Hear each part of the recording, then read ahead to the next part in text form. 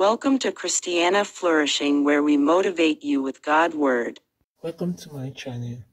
The great footballer Pele died a few days ago, and this is what Reverend Dr. Chris Oyakhilome and our great man of God prophet Uebert Angel said that nobody knows about him.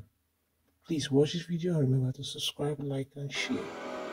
It was said that uh, the great footballer Pele, many of you know him, even though you have not seen him. Before you were born, your father talked about him. Now, he, how many of you have heard of Pele? Okay.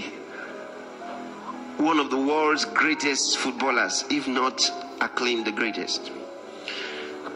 But he said when he was 10 years old,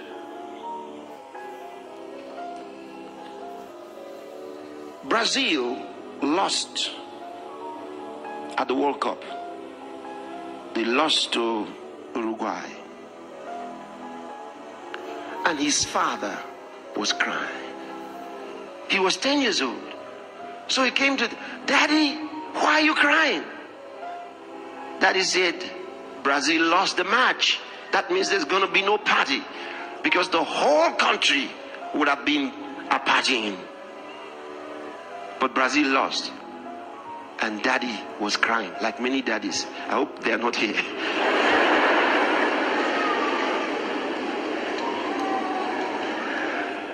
okay.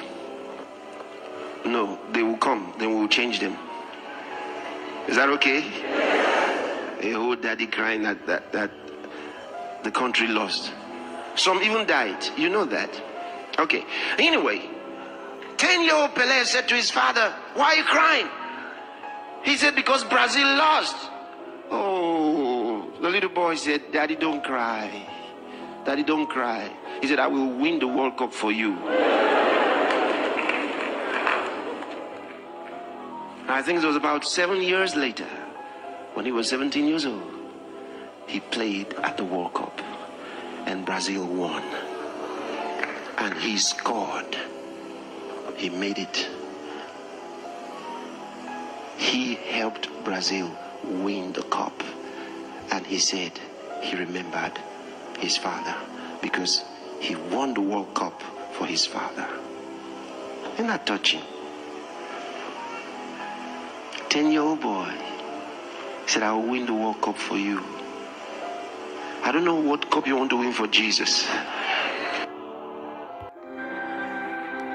Then the Lord said to me something that I need to say it nicely. This one, this year, I saw them crying for a legend in Brazil.